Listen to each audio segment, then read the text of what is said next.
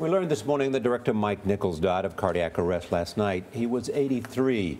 He was one of the few people to win an Oscar, an Emmy, a Tony, and a Grammy. Nichols was a groundbreaking comedian before he was a director. His hits include The Graduate, Who's Afraid of Virginia Woolf, and Angels in America. Three years ago, I asked Mike Nichols about his movie Catch 22. When you were making this, I mean, what were you? What, what was your idea? What am I doing here? I was in despair. I have to say, the thing about making a movie that's going well is that you're not sure, but you're not terribly unhappy.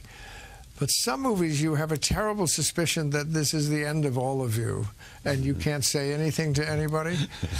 That's how I felt all through Catch 22. There was no moment that I didn't feel that this was going to be a humiliation for everyone concerned.